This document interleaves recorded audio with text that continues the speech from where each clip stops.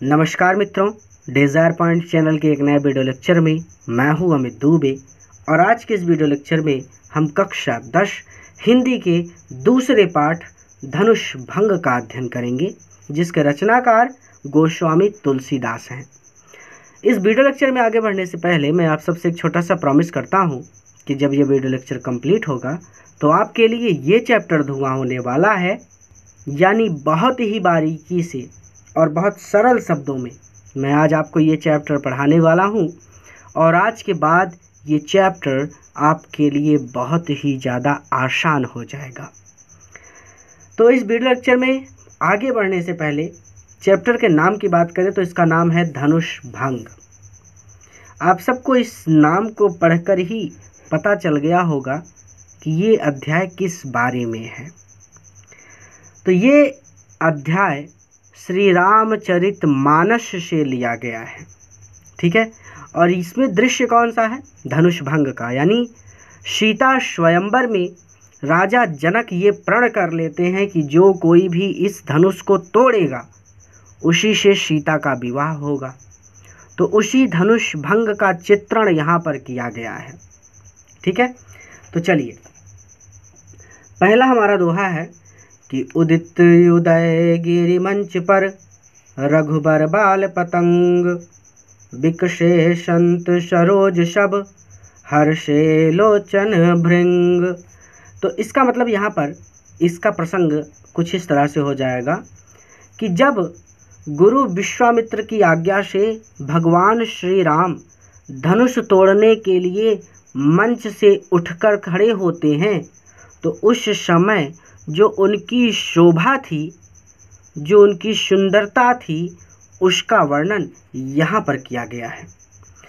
तो गोस्वामी तुलसीदास जी कहते हैं, क्या कहते हैं कि उदित सॉरी उदित उदयगिरी, उदित मतलब उदय होना। उदयगिरी मतलब उदयाचल पर्वत, यानी जिस पर्वत पर सूर्य की किरणें सबसे पहले पड़ती हैं, वो है उदयाचल पर्वत।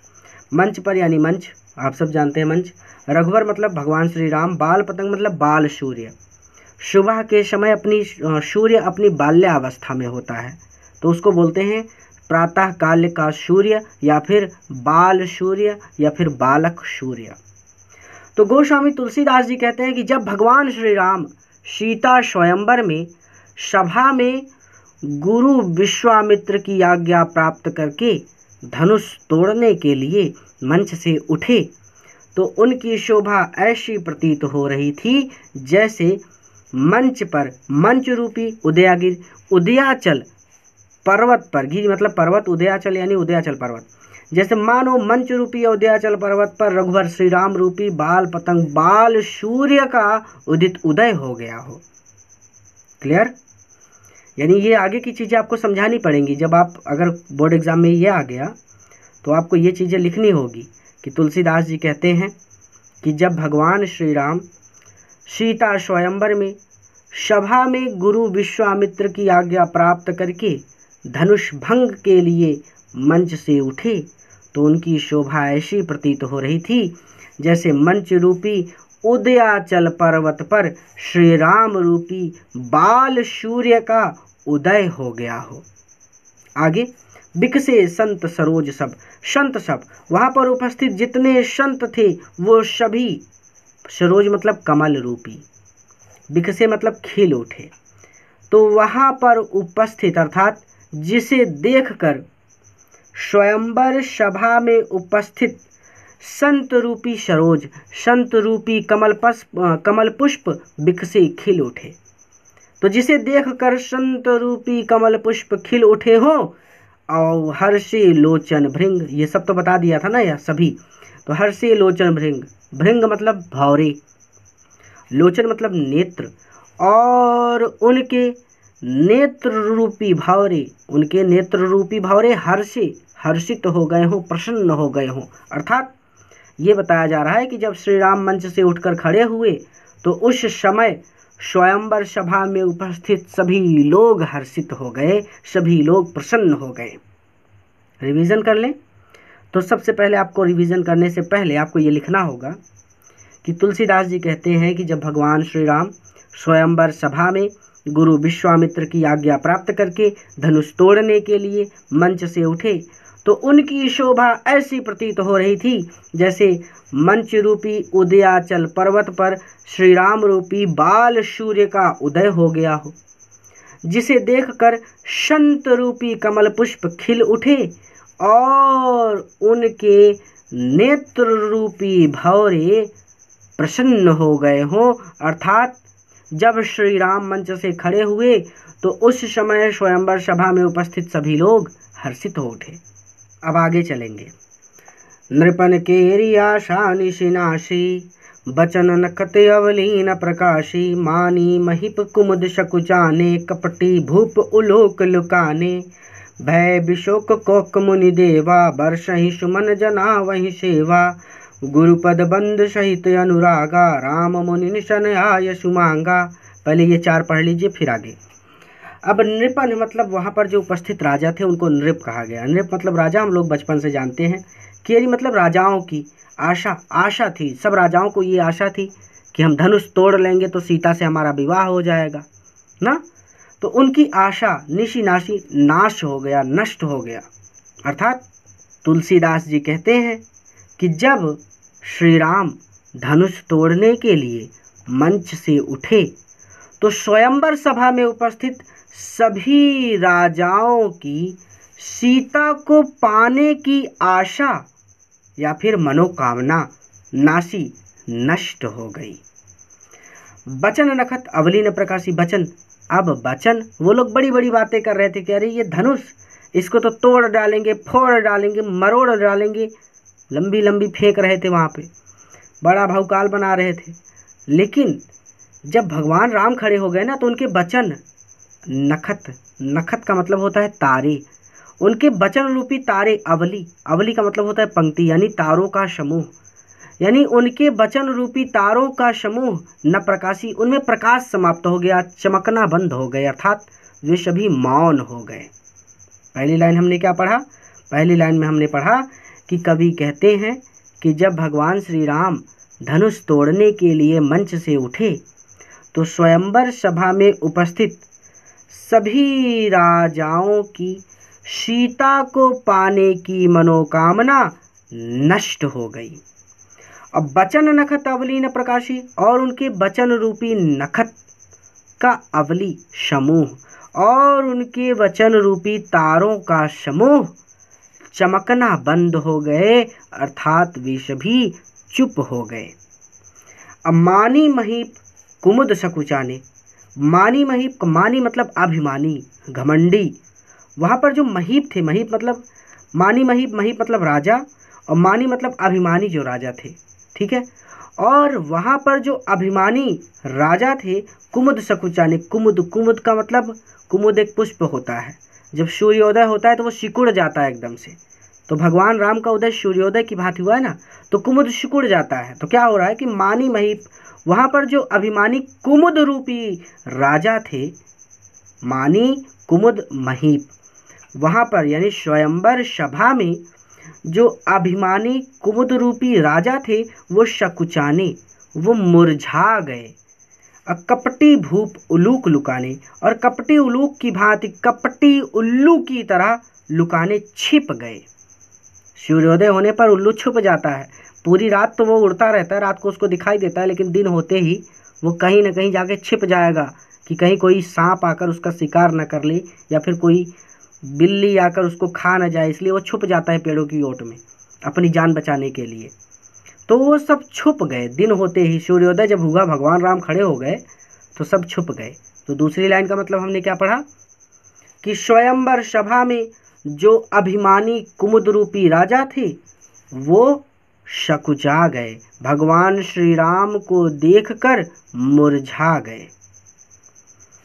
कपटी भूप उल्लू लुकाने और कपटी उल्लू की तरह, और कपटी उल्लू की तरह लुका गए। लुकाने का मतलब हम लोग गाँव में बोलते हैं ना, लुका छिपी। लुका मतलब लुक जाओ, तुम छिप जाओ, यानी कपटी उल्लू की भांति छिप गए।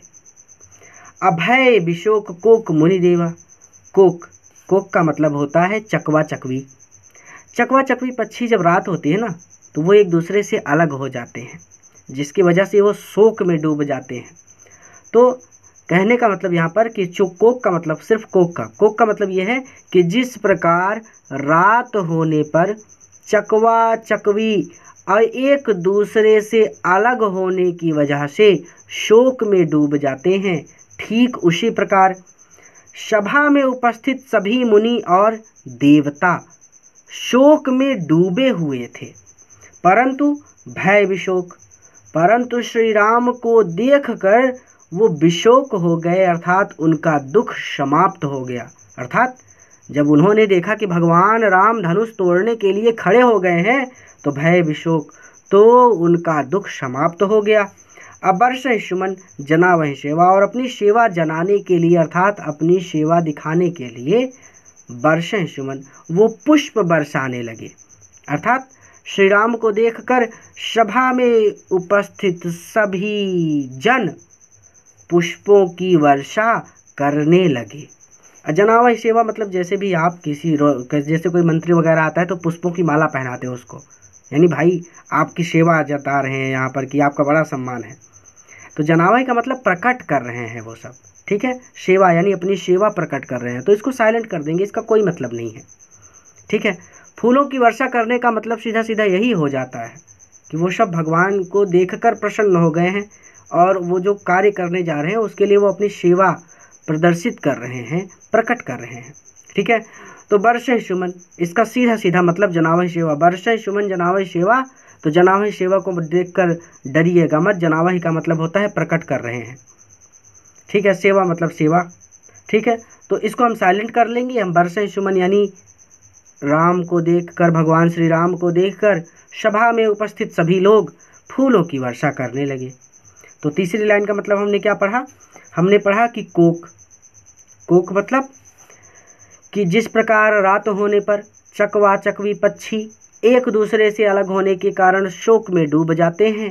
ठीक उसी प्रकार सभा में उपस्थित सभी मुनि और देवता भी शोक में डूबे हुए थे। लेकिन जब उन्होंने देखा कि भगवान श्री राम धनुष तोड़ने के लिए उठ खड़े हुए हैं तो भय विशोक तो उनका दुख समाप्त हो गया।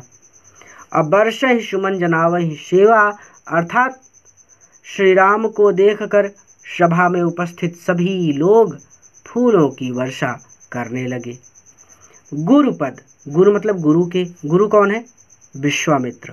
तो गुरु विश्वामित्र मित्र के पद, पैरों की, चरणों की, बंद, वंदना करके शहीद अनुरागा बड़े प्रेम से, बड़े प्रेम पूर्वक तो गुरु गुरु विश्वामित्र, अर्थात भगवान श्री राम गुरु विश्वामित्र के पद, चरणों की अनुरागा प्रेम पूर्वक बंदी वंदना करके। राम, भगवान श्री राम मुनिन सन। मुनिन मतलब अन्य सभी मुनियों, सन मुनियों से और अन्य सभी मुनियों से सभा में उपस्थित अन्य सभी मुनियों से आय, आयुष मांगा। आयुष मतलब आज्ञा। मांगा मतलब मांगी। अनुमति मांगते हैं किस लिए? धनुष भंग करने के लिए। ठीक है? तो इसका मतलब गुरुपद बंद सहित अनुरागा। इसका सीधा सीधा मतलब कि भगवान श्री राम राम मुनि से यानी राम का मतलब हम पढ़ लेंगे सीधा सीधा कि भगवान श्री राम अपने गुरु विश्वामित्र के पद चरणों की प्रेम पूर्वक वंदा, वंदना करके सभा में उपस्थित सभी मुनियों से धनुष तोड़ने के लिए या फिर धनुष भंग करने की अनुमति मांगते हैं। पूरा क्लियर हो गया? आगे चले। राजय चले सकल जग स्वामी मत्त मंजुवर गंजर गामी। चलत राम शब पुर नर नारी, पुलक पूरी तन भय सुखारी। बंदी पितर सुख संहारे जाओ कछ पुण्य प्रभाव हमारे। तब शिव धनुष की नाई तो रहूँ राम स्वनेश गोसाई। यहाँ पर सहज ही चले। सहज का मतलब ऐसे ही, स्वाभाविक ही। वहाँ पर उपस्थित जितने राजा थे ना, वो बड़ी बड़ी बातें कर रहे थे। अरे, तोड़ डालेंगे, फोड़ डालेंगे। लेकिन भगवान श्री राम ने कुछ नहीं कहा। तो तो सहज ही चले, सहज ही चल पड़े। धनुष की ओर सहज ही चल पड़े, सकल जग, इस संपूर्ण जग के स्वामी स्वामी मालिक। तो इस संपूर्ण जग के स्वामी भगवान श्री राम सहज ही, यानी स्वाभाविक ही धनुष की ओर चल पड़े।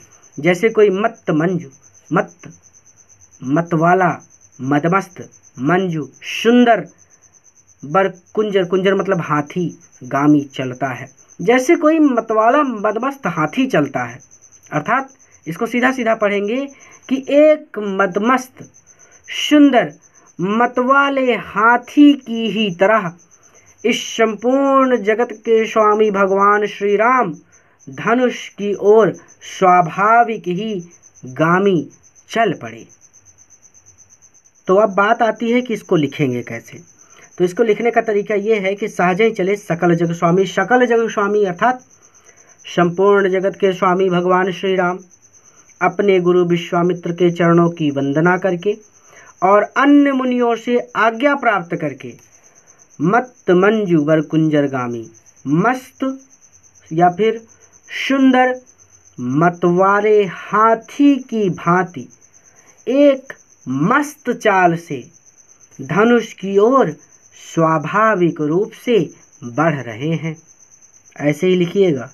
पहले भी बताया था ना मैंने कि उन्होंने अपने गुरु को, पद को बड़े ही प्रेम से, अनुराग से, बड़े ही प्रेम से उन्होंने वंदना की थी और सभी मुनियों से धनुष को तोड़ने की आज्ञा मांगी थी। तो ये चीज़ यहाँ पर दिखानी पड़ेगी कि संपूर्ण जगत के स्वामी भगवान श्री राम गुरु विश्वामित्र के चरणों की वंदना करके और अन्य मुनियों से आज्ञा प्राप्त करके सुंदर मतवाले, मस्त हाथी की चाल से धनुष की ओर स्वाभाविक रूप से बढ़ रहे हैं। अचलत राम और राम को चलते हुए देखकर श्री राम को धनुष की ओर बढ़ते हुए देखकर सब पुर नर नारी, सब मतलब सभी पुर पुर मतलब जनकपुरी। सीता, जनक की पुत्री थी। और जनक की जो राज्य था, जनक का जो राज्य था उसको जनकपुरी कहते हैं।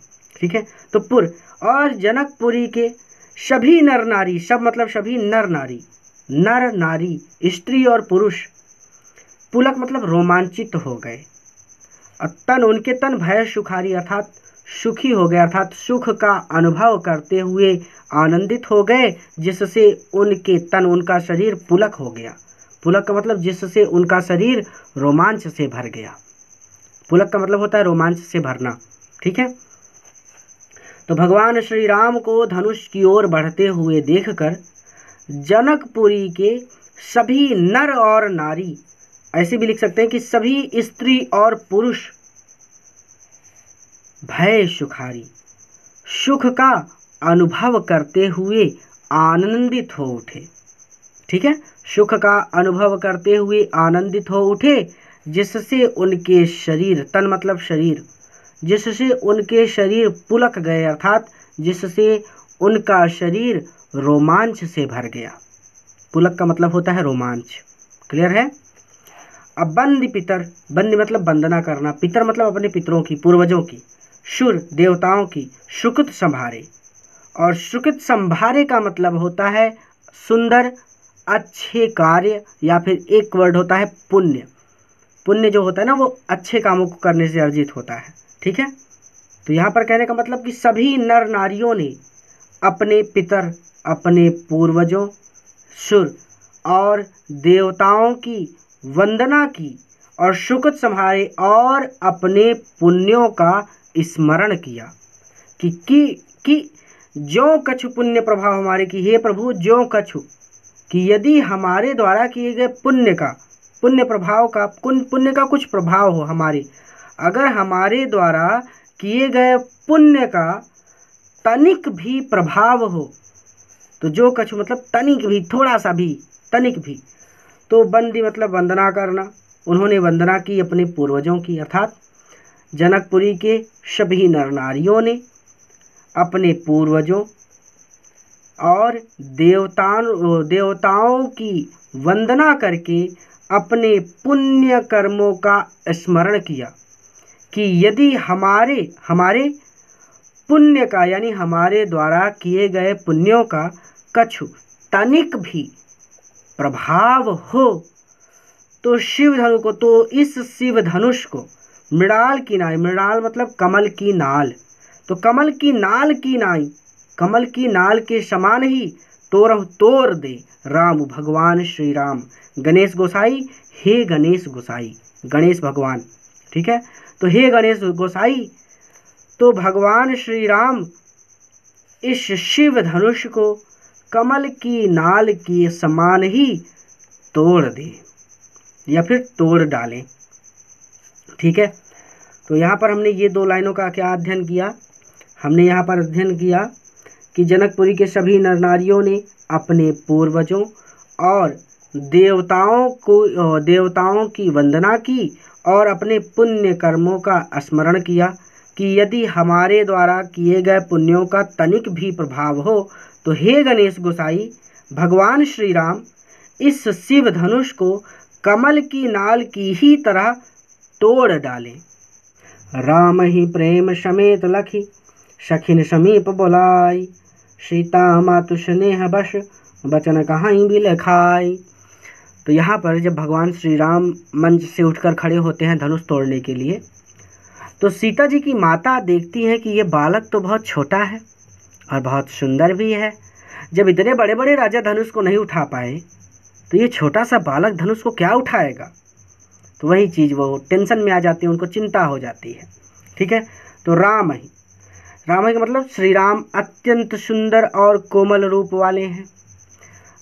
जिसे देखकर, यानी भगवान श्री राम को देखकर सीता जी की माता प्रेम समेत, प्रेम मतलब प्रेम, समेत मतलब के साथ लखी मतलब देखती हैं। तो प्रेम समेत लखी, वात्सल्य। प्रेम का मतलब यहाँ पर वात्सल्य प्रेम से है, ठीक है? लिख दिया है नीचे ताकि दिक्कत ना हो। तो प्रेम समेत लखी, जिसकी वजह से सीता जी की माता वात्सल्य प्रेम से भर कर उन्हें देखती हैं और भगवान श्री राम की कोमलता पर वो मुग्ध हो जाती हैं। जैसे माँ होती है, उसका छोटा सा बच्चा हो, छोटा सा बच्चा हो, कोई हरकत कर रहा हो, बहुत छोटा हो, कोई शरारत कर रहा हो तो आप भी उसे गोद में उठा लेते हैं कह रहे कितना अच्छा लग रहा है। तो वात्सल्य प्रेम जैसा वात्सल्य प्रेम का मतलब होता है जैसा प्रेम माँ अपने पुत्र से करती है। वो होता है वात्सल्य प्रेम। तो वात्सल्य प्रेम से भर कर उन्हें देखती हैं, अर्थात भगवान श्री राम की कोमलता पर मुग्ध हो जाती हैं। और अपनी सखियों को समीप बुलाए, अपने पास बुलाकर, स्नेह बस, वचन कहाँ बिलखाए शमे, स्नेह मतलब स्नेह पूर्ण स्नेह पूर्ण यानी माँ को स्नेह होता है ना? कोई छोटा सा बच्चा हो, उसके ऊपर पाँच सौ कुंटल लाद दीजिए, उसकी माँ देखेगी तो आपको दौड़ा दौड़ा के मारेगी। क्यों? क्योंकि माँ को अपने बच्चे से स्नेह कह रहे इतना छोटा सा बालक इतनी बड़ी चीज़ पाँच सौ किलो का वज़न कैसे उठाएगा? तो वो चीज़, स्नेह प्लस, यानी स्नेह पूर्ण बिलखाए बिलखाए मतलब रोना, बिलाप करना। रोते हुए वचन कहाँ वचन कहती हैं, बात कहती हैं, अर्थात कहने लगती हैं। पहले रिवीजन करिए, फिर आगे समझाऊँगा। कि रामय भगवान श्री राम बहुत सुंदर और कोमल रूप वाले हैं।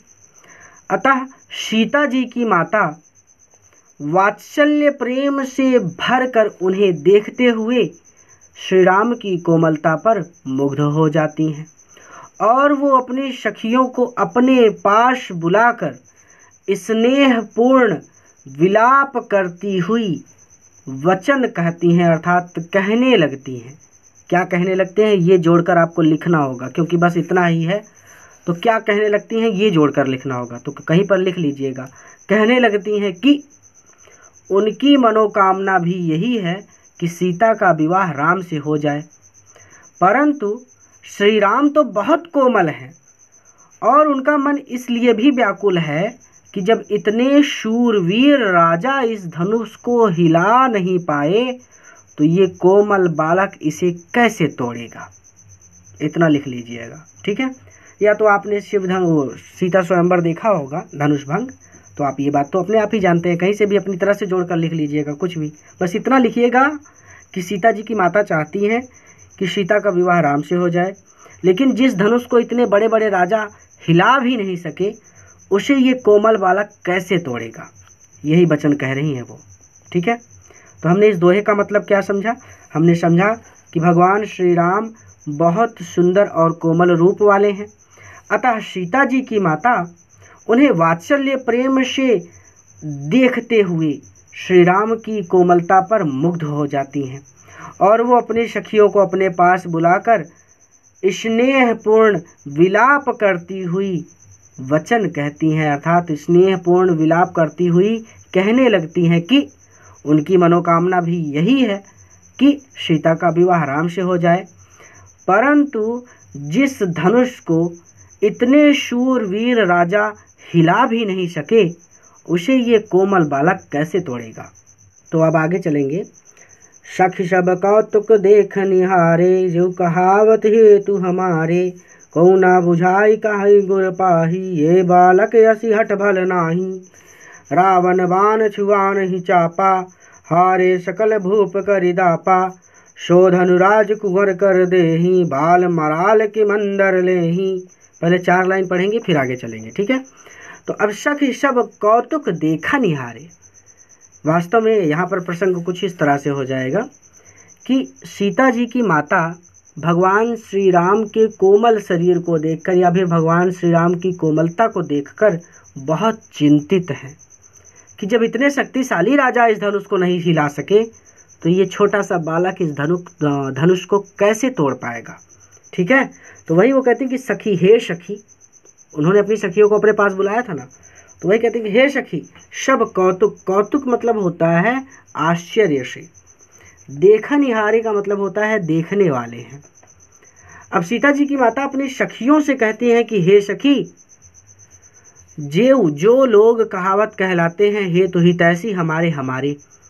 जो लोग हमारे हितैषी कहलाते हैं। हितु मतलब हितैषी और कहावत मतलब कहलाते हैं।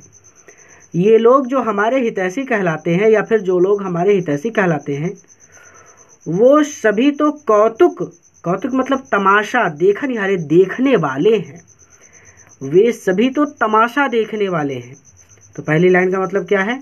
कि सीता जी की माता अपनी सखियों से कहती हैं कि, हे सखी, जो लोग हमारे हितैषी कहलाते हैं, वो सभी तो तमाशा देखने वाले हैं। को न बुझाई बुझाई मतलब समझा कर। ठीक है? कहा कहता को न कोई नहीं बुझाकर समझाकर कहता, अर्थात कोई भी नहीं समझाता।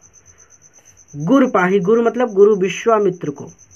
पाही मतलब गुरु विश्वामित्र को, वही बात सीधा सीधा कि इनमें से कोई भी गुरु विश्वामित्र को बुझाई समझाने के लिए नहीं जाएगा या फिर नहीं जा रहा है कि ए बालक, कि ये बालक राम।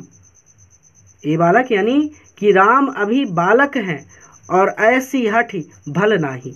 अर्थात, और इस धनुष को तोड़ने के लिए ऐसी जिद, ऐसी हठ भली नहीं, अच्छी बात नहीं है। अर्थात, इस धनुष को बड़े बड़े योद्धा नहीं हिला पाए तो तुम कैसे तोड़ोगे? तो इस लाइन का मतलब हमने क्या पढ़ा? कि कोई भी, इनमें से कोई भी श्री राम के गुरु विश्वामित्र को समझाने के लिए नहीं जा रहा है कि ये राम तो अभी बालक हैं और इस धनुष को तोड़ने के लिए ऐसी हट करना अच्छी बात नहीं है। रावण बाण छुआ नहीं चापा। चापा मतलब धनुष। जिस धनुष को रावण रावण बाण और बाणासुर जैसे वीर योद्धाओं ने छुआ तक नहीं। और हारे शकल और हारे हार गए। शकल सभी भूप राजा करी दापा दापा मतलब घमंड। घमंड मतलब यानी घमंड हार जाना अर्थात उसको हिला भी नहीं पाए ना। सब लोग बड़ी बड़ी बातें कर रहे हैं कि तोड़ डालेंगे, फोड़ डालेंगे, लेकिन धनुष को हिला भी नहीं पाए। तो हारे शकल भूप और सभी बड़े बड़े पराक्रमी राजा करी दापा हारे, अपना घमंड हार गए, अर्थात सभी राजाओं का धनुष तोड़ने का घमंड टूट चुका है। शोधनु उस धनुष को राजकुमार कर दे ही, राजकुमार के कर दे ही हाथों में दे दिया है, अर्थात उस धनुष को राजकुमार के हाथों में दे दिया है, अर्थात उस धनुष को तोड़ने के लिए इस राजकुमार को भेज दिया है। ठीक है? तो ये प्रश्न है एक तरह से कि सो धनु, उस धनुष को राजकुमार कर दे ही, राजकुमार के हाथों में क्यों दे दिया है, अर्थात इस धनुष को इस राजकुमार के हाथों में क्यों दिया दिया है? इसका मतलब ये है कि जब ये राजा नहीं तोड़ सके तो ये राजकुमार क्या तोड़ पाएगा? ये प्रश्न है उनके मन में। तो रावण बाण छुआ नहीं चापा। जिस चापा को, जिस धनुष को रावण और बाणासुर जैसे वीर योद्धाओं ने छुआ तक नहीं, और शकल भूप और सभी राजाओं का धनुष तोड़ने का घमंड टूट चुका है, अर्थात सभी राजा अपनी हार मान चुके हैं तो इस धनुष को तोड़ने के लिए राजकुमार के हाथों में क्यों दे दिया है? बाल मराल क्या बाल मराल बाल मतलब होता है बालक बच्चा। मराल मतलब हंस का बाल मराल मतलब हंस का बच्चा। क्या हंस का बच्चा? मंदर ले ही मंदर, मदराचल पर्वत। मंदराचल पर्वत का नाम सुना होगा। रामायण वगैरह में इसका ज़िक्र मिलता है। तो मंदराचल पर्वत मंदर ले ही। क्या बराबाल मराल? क्या कोई हंस का बच्चा कभी मंदर ले ही मंदराचल पर्वत उठा सकता है? मंदर ले ही मतलब मंदर मतलब मदराचल पर्वत, ले ही मतलब मदराचल पर्वत उठा सकता है। क्या कोई हंस का बच्चा कभी मंदराचल पर्वत उठा सकता है? तो हमने इस लाइन को क्या पढ़ा? कि रावण बाण छुआ नहीं चापा, जिस धनुष को रावण और बाणासुर जैसे योद्धाओं ने छुआ तक नहीं। और सभी राजाओं का धनुष को तोड़ने का घमंड टूट चुका है, अर्थात सभी राजा अपनी हार मान चुके हैं तो फिर उस धनुष को तोड़ने के लिए राजकुमार के हाथों में क्यों दे दिया है? अर्थात भगवान श्री राम के हाथों में क्यों दे दिया है? प्रश्न पूछ रही अपनी सखियों से। ठीक है? और क्या कभी कोई हंस का बच्चा मदराचल पर्वत उठा सकता है? अर्थात, ये कार्य जो भगवान राम को सौंपा गया है, ये अनुचित है। क्यों? क्योंकि भगवान राम अभी बच्चे हैं और बड़े बड़े वीर योद्धा इस धनुष को हिला भी नहीं सके। तो ये बालक क्या हिला पाएगा? ये प्रश्न है उनके मन में। ठीक है? क्लियर हो गया? आगे चलते हैं। एक एक लाइन क्लियर करता चल रहा हूँ ताकि दिक्कत ना हो। जहाँ पे दिक्कत हो तो वीडियो को फिर से स्टार्ट करके देख लीजिएगा। भूप शयानप शकल सिरानी सखी विधि गति कुछ जात न जानी। बोली चतुर सखी मृदुबानी, तेजवंत लघु गनी न गान रानी। कह कुंभज, कह सिंधु अपारा शो शिव सुजसु सकल संसारा।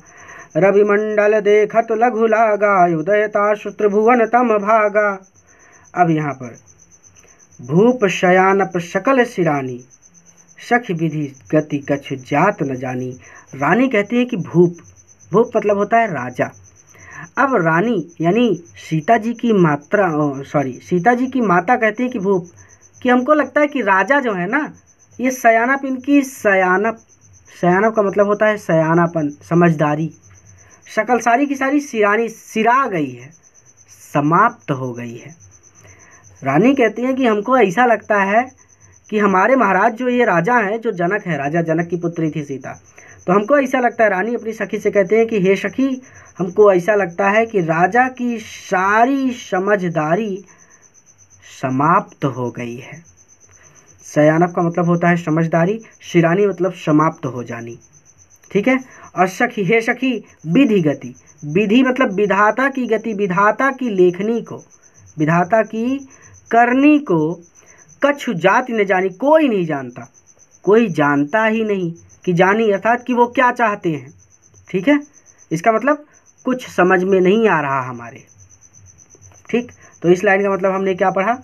कि रानी अपनी सखी से कहती हैं कि ये सखी, हमको ऐसा लगता है कि राजा की सारी समझदारी नष्ट हो गई है और हे सखी विधि गति विधाता की करने को कछु जाति न जानी, कोई जान नहीं सकता कि वो क्या चाहते हैं।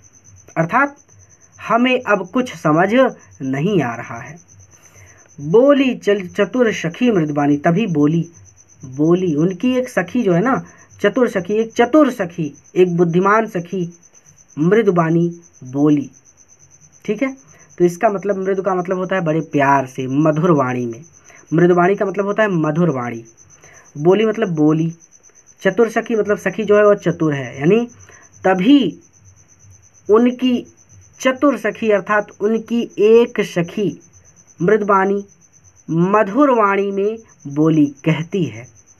तभी उनकी एक चतुर सखी मधुर वाणी में कहती है, तेजवंत की तेजवंत तेजवंत मतलब तेजवान, लघु मतलब छोटा, गनी गनी का मतलब होता है गिनना न रानी ना तो तेजवान व्यक्तियों की गणना छोटों में न रानी, मत कीजिए रानी। हे रानी, तेजवंत, तेजवान व्यक्ति, चाहे लघु ही हो, चाहे छोटा ही हो, अर्थात तेजवान व्यक्ति, चाहे उम्र में छोटा ही क्यों ना हो, ना गिने, तब भी उसकी गिनती छोटों में नहीं करनी चाहिए, अर्थात तब भी उसे छोटा नहीं मानना चाहिए। क्लियर हो गया?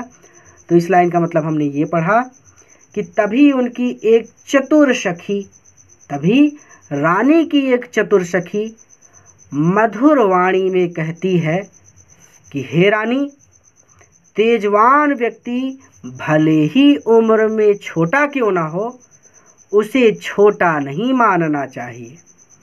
कहा कुंभज? कुंभज का मतलब होता है कुंभ से जन्मा अर्थात घड़े से उत्पन्न होने वाला। तो कहाँ कुंभज? अब कुंभ से जन्मे थे अगस्त मुनि। ठीक है? आप गूगल पर सर्च कर लीजिएगा। अगस्त मुनि के बारे में तो उनका जन्म हुआ था कुंभ से घड़े से। तो कहाँ कुंभज? कहाँ? कुंभ से, कहाँ घड़े से उत्पन्न होने वाले अगस्त मुनि? कहाँ और कहाँ सिंधु अपारा और सिंधु? और कहाँ सिंधु अपारा और कहाँ सिंधु सिंधु मतलब होता है समुद्र, अपारा मतलब होता है अपार। और कहाँ अपार समुद्र? कहाँ घड़े से उत्पन्न होने वाले अगस्त मुनि? और कहाँ अपार समुद्र? शोशव शोख लिया। शोशव मतलब शोख लिया। सुजसु और उनका सुजस, उनका जस, सकल संसार संपूर्ण संसार में विद्यमान है। तो शोशो का मतलब अर्थात ऋषि मुनि, अर्थात मुनि अगस्त ने अपने पराक्रम से उस अपार समुद्र को शोशव शोख लिया था। इस शोशव का मतलब शोख लिया था। किसने शोख लिया था? अगस्त मुनि ने। कैसे शोख लिया था? अपने पराक्रम से। और उसका सुजसु और इसी वजह से उनका यश सारे संसार में विद्यमान है।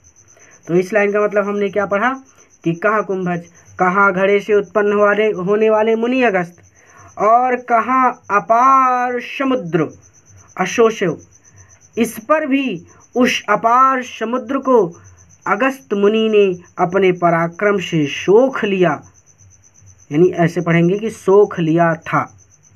और इसी वजह से उनका जश संपूर्ण संसार में विद्यमान है। रवि मंडल रवि का मंडल, रवि मतलब सूर्य। तो रवि मंडल रवि का जो मंडल होता है, सूर्य का जो मंडल होता है, मंडल मतलब घेरा। तो सूर्य का घंटा देखा, देखने में लघु लागा। लघु मतलब छोटा लागा मतलब लगता है। सूर्य का घेरा देखने में छोटा लगता है, लेकिन उदय तासु, उसके उदय होने पर त्रिभुवन तीनों लोकों से तम अंधकार भागा, भाग जाता है। रवि का मंडल यानी सूर्य का मंडल, सूर्य का घेरा। देखने में तो छोटा लगता है, परंतु उसके उदय होने से, अर्थात जब सूर्योदय होता है, परंतु उसके उदय होने से तीनों लोकों का अंधकार भाग जाता है, अर्थात तीनों लोकों का अंधकार दूर हो जाता है। तो इसके आगे आप लिख दीजिएगा कि अर्थात सखी कह रही है कि आप भी श्री राम को छोटा मत समझिए। मंत्र परम लघु जाशुभस विधि हरिहर सुर सर्व महामत गजरात गहु बस कर अंकुश खर्ब अब यहाँ पर ध्यान से समझिएगा। यहाँ पर बताया गया है कि मंत्र के द्वारा कैसे देवता अपने नियंत्रण में आ जाते हैं और कैसे अंकुश के द्वारा हाथी वश में आ जाता है, नियंत्रित किया जाता है। ठीक है? इसका प्रसंग यही है। तो अब देवी सखी से अपनी कहा था सीता की माँ ने कि इतनी सारी चिंताएँ हैं मेरी। तो उनकी सखी, तुलसीदास जी कहते हैं कि सीता जी की माता को उन, उनकी सखी समझाते हुए कहती है कि हेरानी मंत्र परम लघु, मंत्र जो मंत्र होता है वो परम लघु, अत्यंत छोटा होता है। अब सबसे छोटा मंत्र कौन सा होता है? ओम का। जिसे आप बोलते हैं ओम। तो ओम का मंत्र सबसे छोटा होता है। लेकिन जब भी आप पूजा करते हैं तो सबसे पहले अपने मंत्र का स्टार्ट करते हैं ओम शब्द से। आप पहले ओम बोलेंगे, फिर उसके बाद कोई मंत्र वो जोड़ के बोलेंगे उसके आगे। तो कहते हैं कि मंत्र परम लघु जो ओम मंत्र होता है, ओम का मंत्र परम लघु अत्यंत छोटा होता है। और जाशु बस इस पर भी वो बस में कर लेता है, इस पर भी वो अपने अधीन कर लेता है।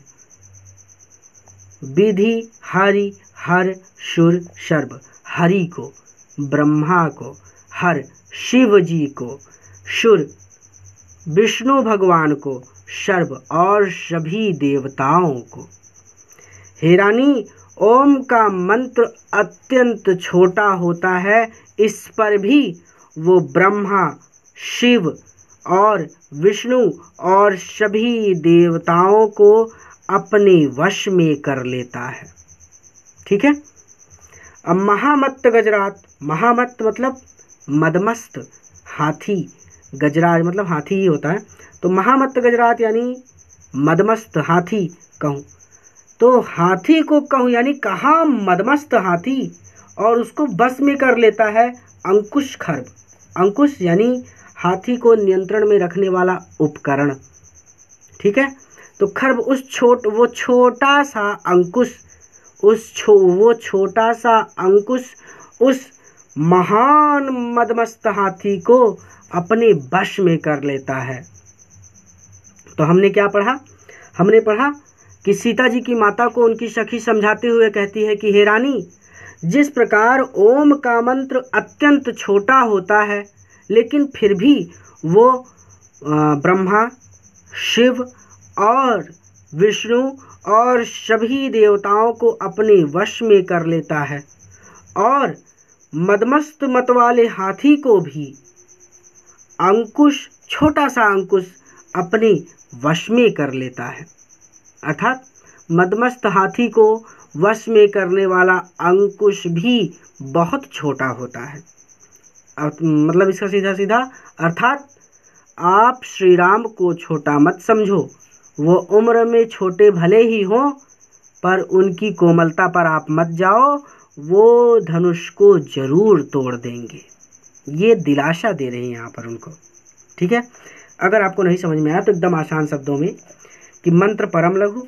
रानी को समझाते हुए सखी कहती है कि, हे रानी, ओम का मंत्र अत्यंत छोटा होता है। पर ब्रह्मा, शिव, विष्णु और सभी देवता उसके वश में हैं।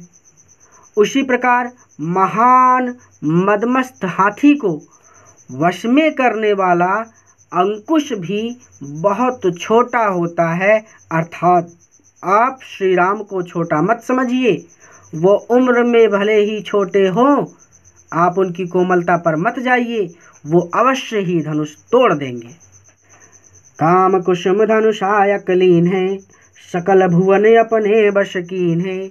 देवी तजय शंस अस जानी, भंजब धनुष राम सुनु रानी। सखी बचन सुनि भय पर तीति, मिटा विषाधु बढ़ी यति प्रीति। तब राम ही बिलो की दे ही सभय हृदय बिनवती जहिते ही। पहले चार पढ़ेंगे, फिर आगे चलेंगे। अगर यहाँ पर प्रसंग की बात करें तो विभिन्न प्रकार की बातें बताकर सीता जी की माता की सखी उनको भगवान श्री राम की वीरता का वर्णन कर रही हैं। ठीक है? वो कहती हैं कि कामदेव काम मतलब कामदेव। कुसुम कुसुम मतलब पुष्पों का। धनु धनु का मतलब होता है धनुष। शायक मतलब होता है बाण। लीन्हे मतलब लिया हुआ है। सीता जी की माता कहती है सीता जी की माता की सखी कहती है उनको समझाते हुए कि, हे रानी, कामदेव ने फूलों का धनुष बाण लेकर सारे भुवन को, सकल संसार को अपने बस की ने अपने वश में कर रखा है। ठीक है? तो इसका मतलब हमने ये पढ़ा कि सीता जी की माता को उनकी सखी समझाते हुए कहती है कि, हे रानी कामदेव ने पुष्प का या फिर फूलों का धनुष बाण लेकर संपूर्ण संसार को अपने वश में कर रखा है। देवी तजीव, इसीलिए हे देवी, आप तज दीजिए, त्याग कर दीजिए संशय शंका का, अस जानी ये जानकर। इसीलिए हे देवी, आप अपने मन की शंका का त्याग कर दीजिए। तजी त्याग कर दीजिए, संशय अस जानी, यानी ये जानकर, क्या जानकर कि कामदेव ने तो फूलों का बाण और धनुष लेकर पूरे संसार को अपने बस में कर रखा है। वो भी पुष्प जो होते हैं, वो कोमल होते हैं, लेकिन कामदेव के वश में पूरा संसार है। कामदेव सबको अपने अनुसार चलाते हैं, जो वो चाहते हैं वही होता है। तो ये जानकर कि अर्थात जब फूलों से पूरे संसार को काबू में किया जा सकता है तो ये कोमल बालक भी धनुष को तोड़ सकता है। तो अस जानी देवी तजे संशय अर्थात सीधे सीधे बात अस जानी को साइलेंट कर दीजिए। यानी हे देवी तजे संशय हे देवी आप अपने मन की शंका का त्याग कर दीजिए। भंजब भंजब मतलब तोड़ डालेंगे। धनुष इस धनुष को राम भगवान श्री राम सुन सुनिए रानी रानी। रानी आप मेरी बात सुनिए या फिर रा, आ, रानी आप मेरी बात का विश्वास करिए भगवान श्री राम इस धनुष को अवश्य तोड़ डालेंगे। ठीक? तो इस लाइन का मतलब हमने सीधा सीधा पढ़ा कि देवी तजे संशय यश जानी, यानी इस पूरे का मतलब आपको लिखना है सीधा सीधा कि हे देवी, आप अपने मन की शंका का त्याग कर दीजिए, मेरी बात का विश्वास करिए, भगवान राम इस धनुष को अवश्य तोड़ देंगे। सखी बचन सुनी भय पड़ती थी सखी बचन, अर्थात रानी अपनी सखी के मुख से ऐसे वचन सुनकर भय पड़ती थी। भय पड़ती थी, भगवान राम की क्षमता पर विश्वास हो गया, अर्थात सखी वचन अपनी सखी से या फिर अपनी सखी के मुख से ऐसे वचन सुनकर भय पड़ती थी। रानी को भगवान श्री राम की क्षमता पर विश्वास हो गया। अब मिटा विषाद और उनका विषाद, उनका दुख मिटा, समाप्त हो गया। और उनका दुख समाप्त हो गया और उनकी उदासी बढ़ी अति प्रीति और उनकी उदासी उदासी श्री राम के प्रति प्रीति में परिवर्तित हो गई। श्री राम के प्रति स्नेह रूप में परिवर्तित हो गई। ठीक है? या फिर उनका दुख श्री राम के प्रति स्नेह के रूप में परिवर्तित हो गया। ठीक है? तो सखी वचन सुनी भय प्रतीति, मिटा भी साधु हरी बढ़ी अति प्रीति। यानी हम लोग इसको, इस लाइन का मतलब ये पढ़ा कि अपनी सखी के मुख से ऐसी बातें सुनकर रानी को भगवान श्री राम की क्षमता पर विश्वास हो गया और उनका दुख समाप्त हो गया। और उनकी उदासी श्री राम के प्रति स्नेह रूप में परिवर्तित हो गई। तब राम ही बिलो की वैदेही तब तब उस समय, यानी तभी राम ही श्री राम जी को बिलो की देख कर वैदेही वैदेही मतलब सीता जी। ठीक है? तो उसी समय या फिर तभी श्री राम जी को देखकर वैदेही सीता जी। सभय सभय मतलब भय के साथ हृदय। तो सीता जी के हृदय में भय व्याप्त हो गया, अर्थात सीता जी का हृदय भय से व्याकुल हो उठा। क्यों? क्योंकि इतने बड़े बड़े राजा धनुष नहीं उठा पाए थे। तो भगवान राम उठा पाएँगे या नहीं, ये डर लग रहा था उनको। और सीता जी भी चाहती थी कि उनका विवाह भगवान राम से ही हो जाए, इसलिए भी वो डर रही थी कि अगर नहीं उठा पाए तो फिर हमारी शादी किससे होगी, इनसे नहीं हो पाएगी। तो सब है हृदय। तो सीता जी का हृदय भी भय से व्याकुल हो उठा और बिनती, और वो बिनती करने लगी। जही तेही जही तेही मतलब होता है जिस जिस इसका मतलब सभी देवताओं से विनती करने लगी। तो इस लाइन का मतलब हमने पढ़ा कि तभी भगवान श्री राम को देखकर सीता जी का हृदय भय से व्याकुल हो उठा और वो सभी देवी देवताओं से विनती करने लगी। क्या विनती करने लगी? कि मन ही मन मनाव यकुलानी हो प्रसन्न महेश भवानी, करहु सफल यापन सेवकाई करी तिहरहु चाप गरुआई। मन गणनायक वरदायक देवा, आज लगे आज लगे कीन्हु तू सेवा बार बार बिनती सुनी मोरी, करहु चाप गुरतायति थोरी। अब कहती है कि मन ही मन ही मतलब मन ही मन में। मन मनाव अकुलानी अकुलानी मतलब व्याकुल होकर। तो यहाँ पर कहा गया है कि सीता जी श्री राम को देखकर अकुलानी व्याकुल होकर मन ही मन मन ही मन में मनाव, विनती कर रही हैं। मना रही अर्थात देवताओं को मना रही अर्थात उनसे विनती कर रही हैं कि हो प्रसन्न, हे, प्रसन्न हो ये। महेश भवानी, महेश मतलब भगवान शिव जी और भवानी मतलब भवानी, उनकी अर्धांगिनी, ठीक है? तो हे महेश भवानी, आप हम पर प्रसन्न होइए, आप मुझ पर प्रसन्न होइए। ठीक है? तो भगवान श्री राम को देखकर सीता व्याकुल होकर मन ही मन विनती कर रही हैं कि, हे महेश भवानी हो प्रसन्न, आप मुझ पर प्रसन्न होइए। करहु सफल आपन शिव का ये लाइन क्लियर हो गई। तो हमने इस लाइन का मतलब समझा कि अकुलानी का मतलब तुलसीदास जी कह रहे हैं कि सीता श्री राम को देखकर व्याकुल होकर मन ही मन विनती कर रही हैं कि हे महेश भवानी, आप मुझ पर प्रसन्न होइए। करम सफल और सफल कीजिए आपन सेवकाई आपकी जो सेवा की है मैंने। अर्थात आज तक जो मैंने आपकी सेवा की है उसको सफल कीजिए, अर्थात उसका फल मुझे दीजिए। और आज तक जो मैंने आपकी सेवा की है, उसका फल मुझे दीजिए और कर हित हित करिए, अर्थात हरण कर लीजिए।